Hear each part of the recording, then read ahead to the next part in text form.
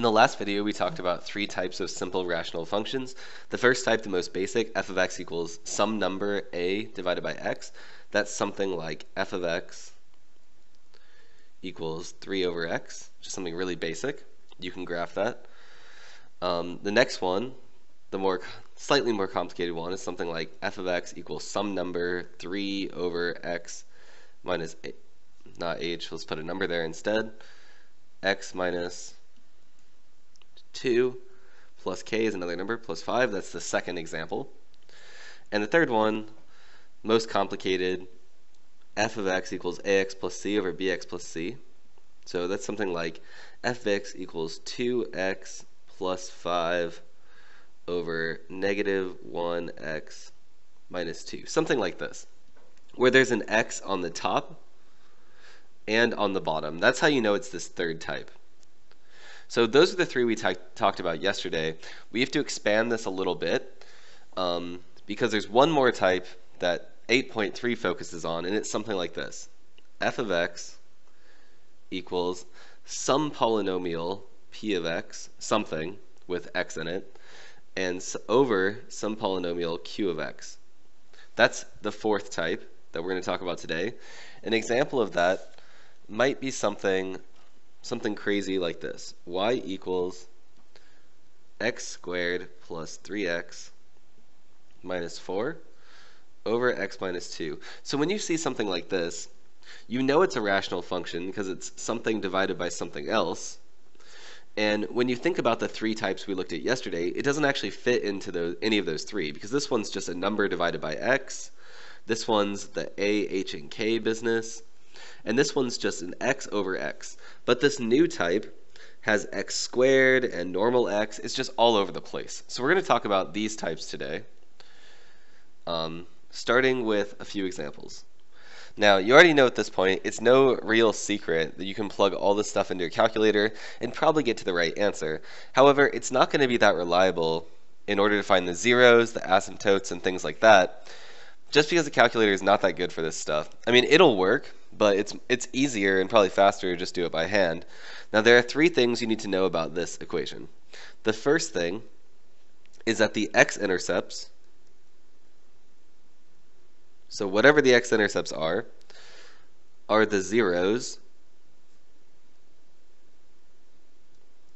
of p of x. So what you do is you set the top part of this equal to 0 calculate the zeros, graph the zeros for the top part, the p of x, those are the x-intercepts. The x-intercepts are the zeros of the top. Second thing you need to know is this graph has a vertical asymptote. That's a line that runs straight up and down.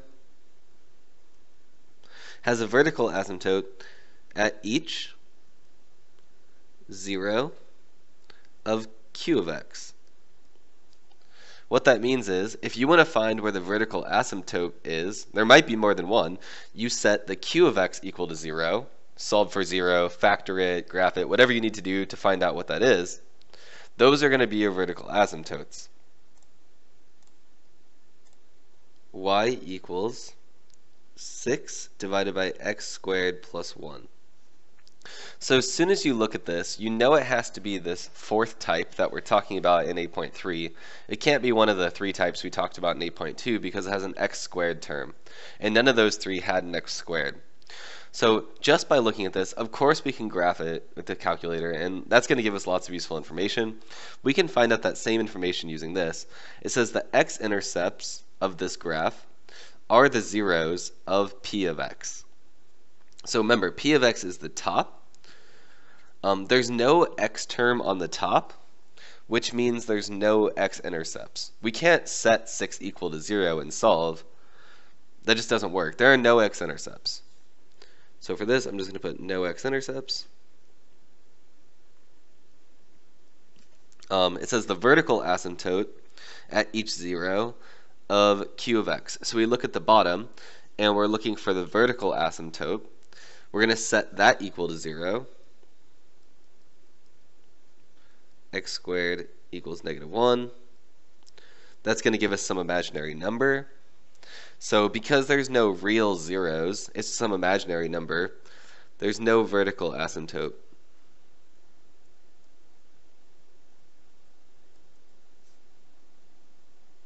Let's go ahead and graph it just to confirm what we have. So we have 6 divided by x squared plus 1.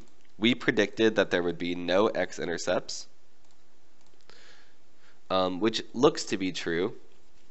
It looks like it'll get close to the x-axis, but it will never cross it. There's actually horizontal intercept or horizontal asymptote there.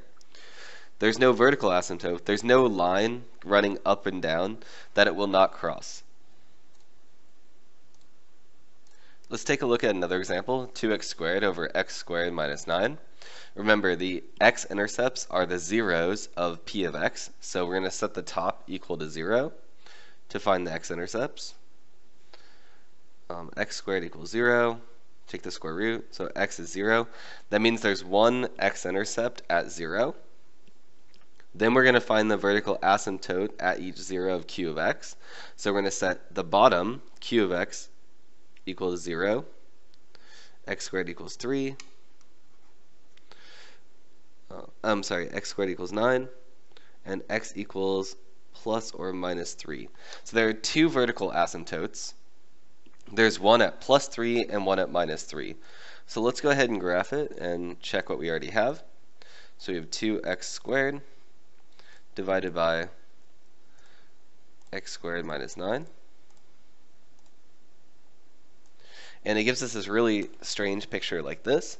Let's go ahead and just make sure it's what we expect. There's one x-intercept at 0. We can see right here there's that x-intercept at x equals 0. There's two vertical asymptotes at, um, like we showed, plus 3 and minus 3. Here's one vertical asymptote at minus 3. Here's one at plus 3. Um, these lines on the graph that run from top to bottom, those are not part of the graph.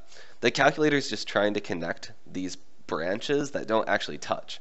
But these are actually vertical asymptotes. The graph will never cross these lines at negative 3 and plus 3.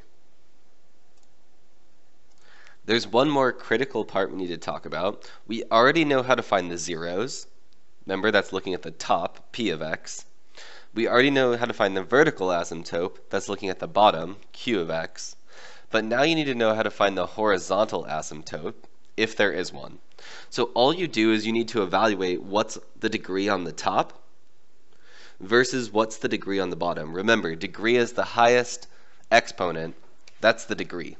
So you have three choices. If the top degree is less than the bottom degree, so like the top would be 1, the bottom would be 5, then there's a horizontal asymptote at y equals 0 or the degrees are equal, like in this situation, the degree of 2 and degree of 2, it's equal. So in order to find the horizontal asymptote, you divide the coefficients.